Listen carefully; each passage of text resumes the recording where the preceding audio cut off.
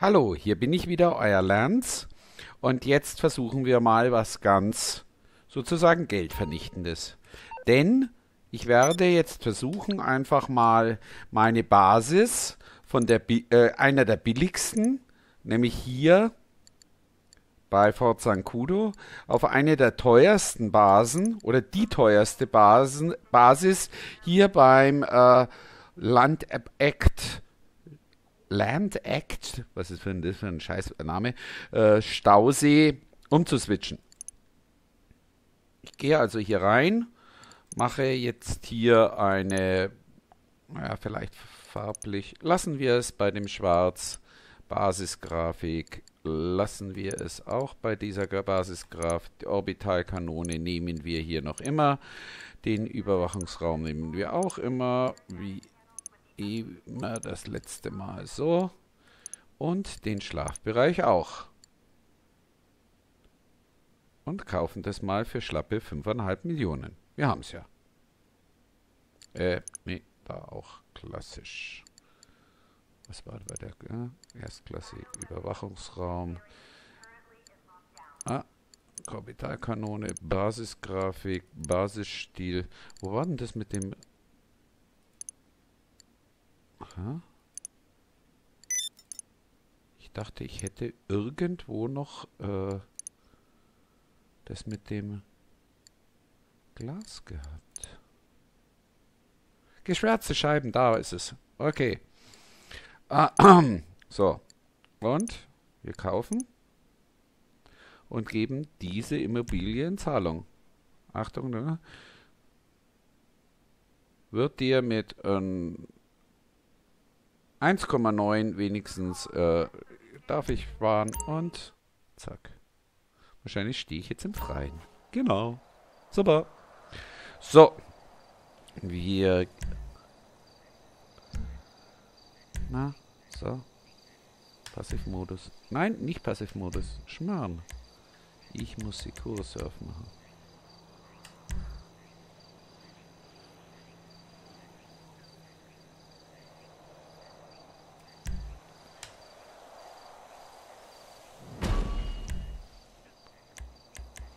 Wir holen uns... Oh, nee. Was mache ich heute alles? So. Wir holen uns unseren Buzzard. Irgendwann kriegen wir ihn vielleicht auch.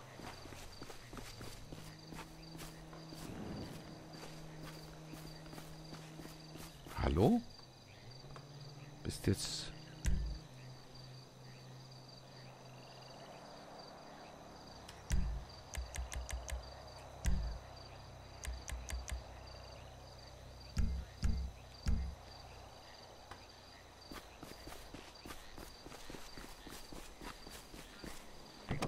So, Schmarri. Ach, da oben ist er ja. Also fahren wir zu unserem Ding hoch. Weil der Zugang zu dem war ja mehr als krank.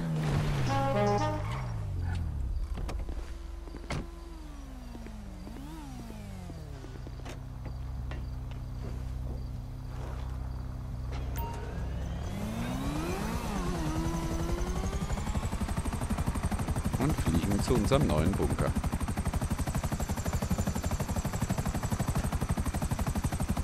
Hätte vielleicht erstmal den Überfall von Port Sangudo machen sollen. Das war jetzt eigentlich ein Schmarrn, was ich gemacht habe, aber egal.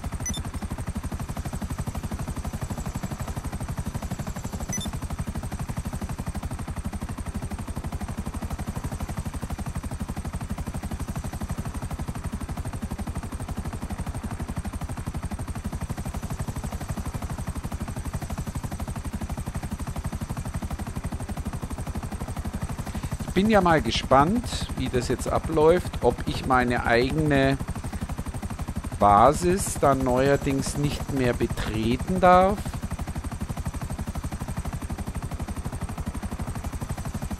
Sobald der, lange der Auftrag läuft, ob ich dann nicht mehr in meinen Hangar darf.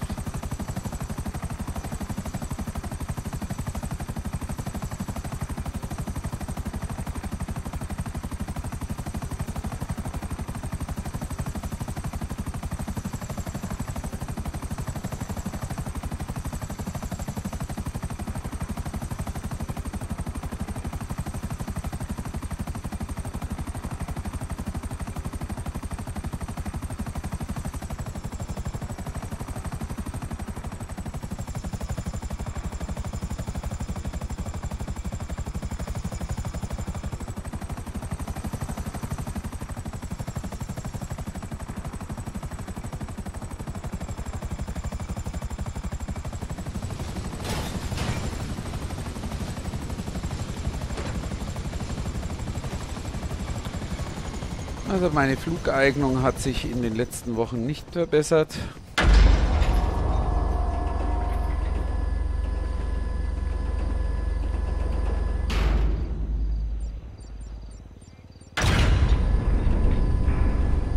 So, was machen wir als nächstes? Wir geben weiter Geld aus. Denn was wir noch nicht haben, ist die mobile Einsatzzentrale, die neue. Die äh, bringt auch nicht irgendwie durch die Missionen, äh, bringt die keine Ersparnis. Wir müssen hier richtig in die, tief in die Tasche greifen. Na, also. Wir können jetzt hier so richtig mal Geld ausgeben.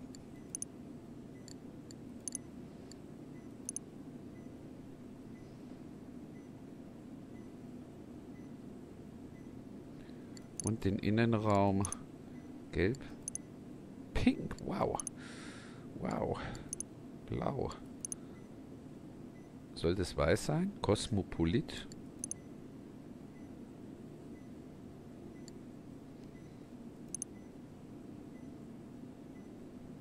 Na, also das sieht nicht gut aus. Das sieht auch nicht gut aus. Das ist zu schrill. Das ist zu schwarz. Das Gelb sieht auch nicht. Hm. Hm. Hm. Hm. Machen wir ein bisschen Retro. Machen wir einen auf Orange. Ha? Was meint ihr? Doch, machen wir. Ist ja nur 5 Millionen.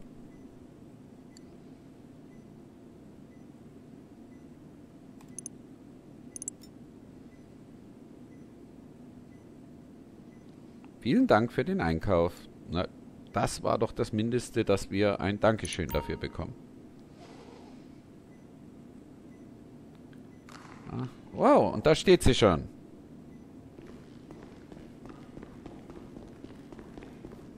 Naja. Und wie soll das jetzt funktionieren? Da bin ich gespannt.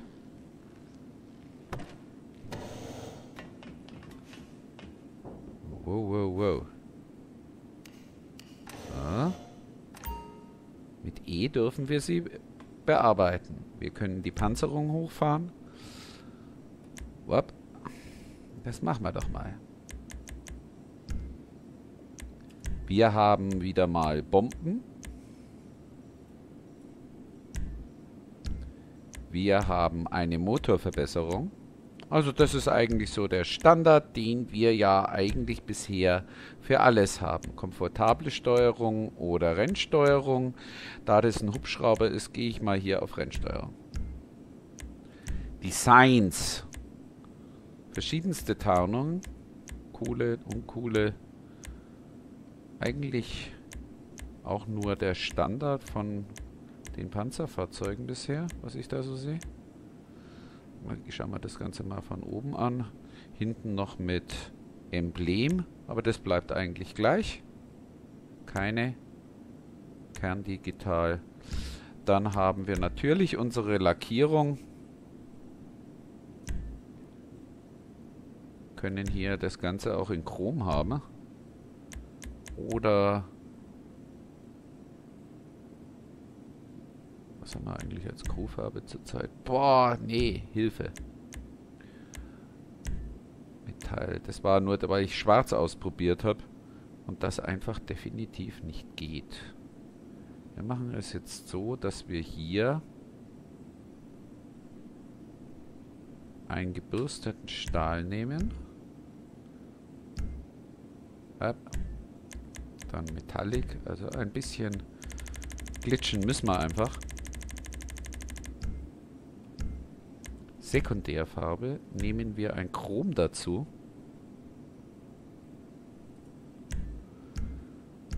Gehen zurück und suchen uns einen coolen Pearl-Effekt dazu aus. Oder auch nicht. Der Glitch geht nicht mehr. Also, und sag, äh, Metallic-Farben-Glitch. Wir gehen hier durch. Wir gehen raus, verlassen das Fahrzeug. Gehen wieder ins Fahrzeug.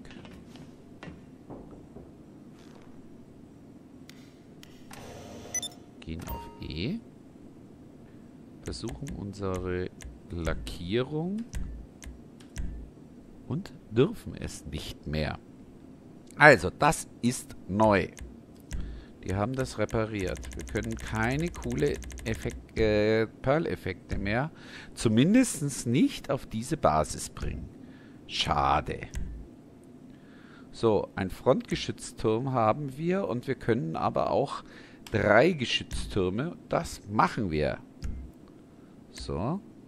Warum zeigt er mir das noch immer an? Ah, das ist mal wieder typisch. Ein kleiner Bug. So. Wir gehen aus dem Ganzen und verlassen die Basis.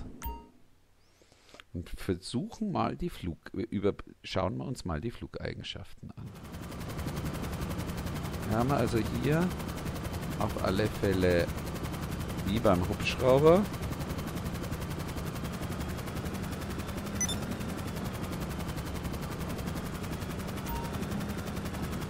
Und wenn ich jetzt auf E gehe,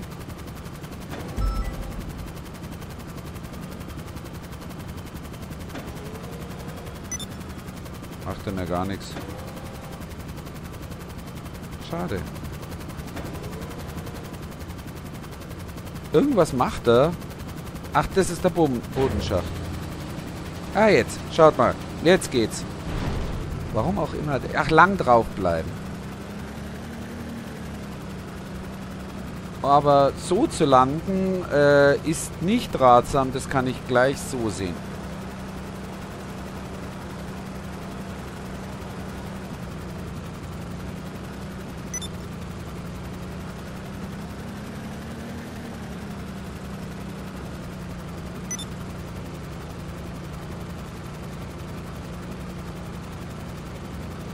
Aber wenn mir jetzt noch jemand sagen könnte, wie das Ding als Einsatzzentrale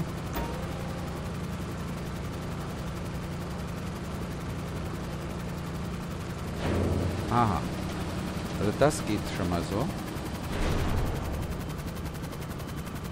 So. Wie kann ich jetzt hier wechseln?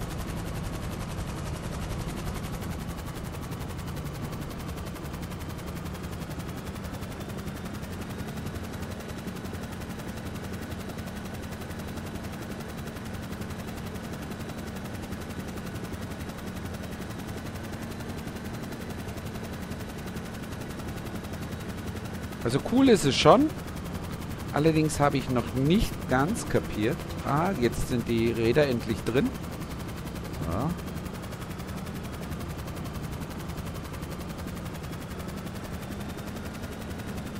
So. Haben wir hier Bewaffnung? Haben wir eh? Nein, wir haben keine... Achso, das ist... Ups, natürlich. Äh, wir haben keine ähm, Täuschkörper da gerade. Die haben wir nicht ausrüsten können. Geht natürlich nicht. Sie ist schon ganz schön schnell.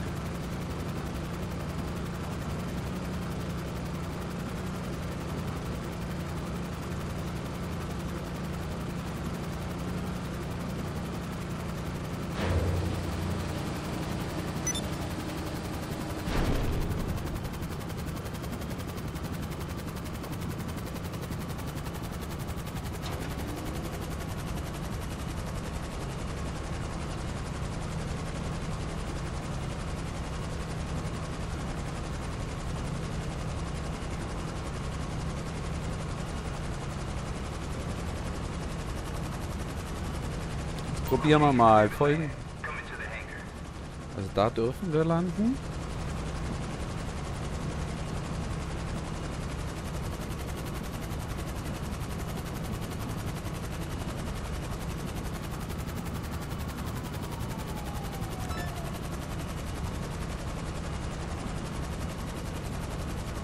Dürfen wir sie auch abstellen?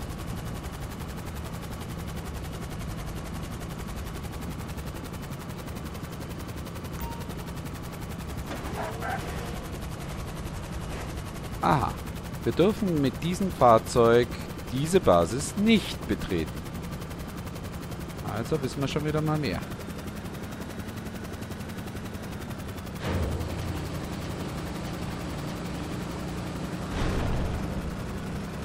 Ich möchte jetzt nicht ausprobieren, wie diese... Oder probieren wir es mal aus. Schaut mal im Rundflug, sieht sie auch so aus.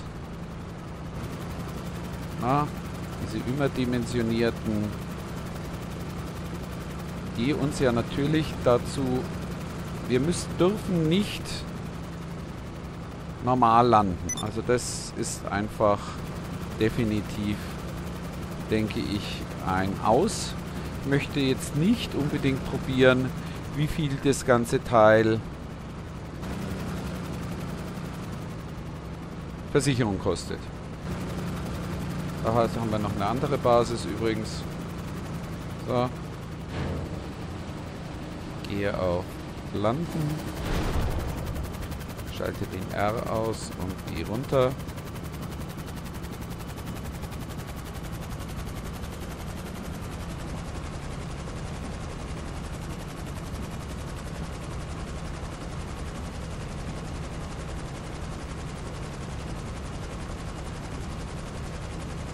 Also ich finde es ein bisschen schwach, dass die nicht interaktiv untereinander ausgetauscht werden können.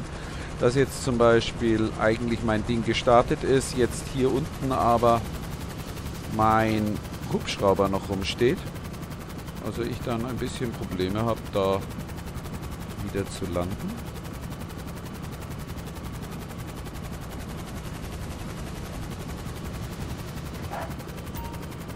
Okay ist natürlich cool, wenn wir... Ah, das Bild ist aber schön. Das müsste... Das ist schön. Allerdings... Ui, und wie die äh, Propeller eingefahren sind, ist auch gut.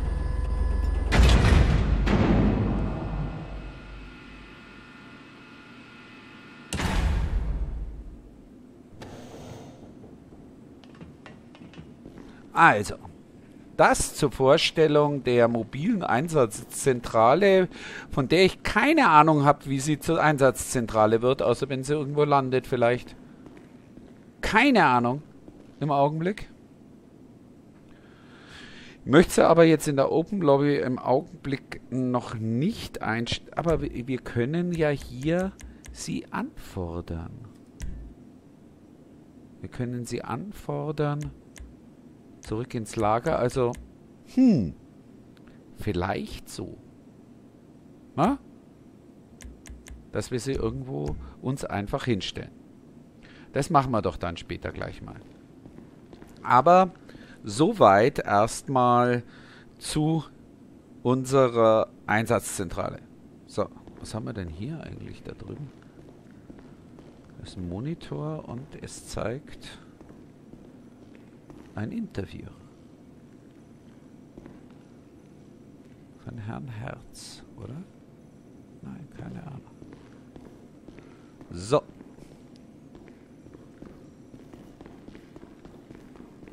Hey, hier ist unser...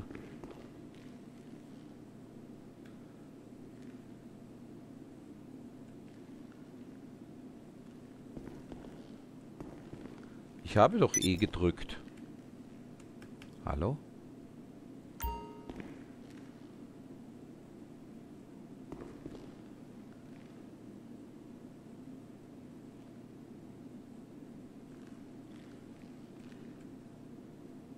Ach, betritt den... Ah, okay. Also, lesen, wer lesen kann, hat mehr vom Leben. Hier dürfen wir nicht rein.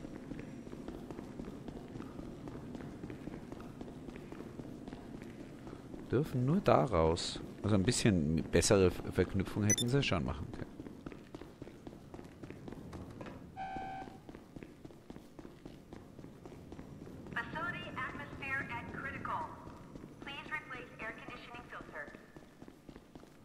So, also, soweit zu unserer mobilen Fahrzeugzentrale.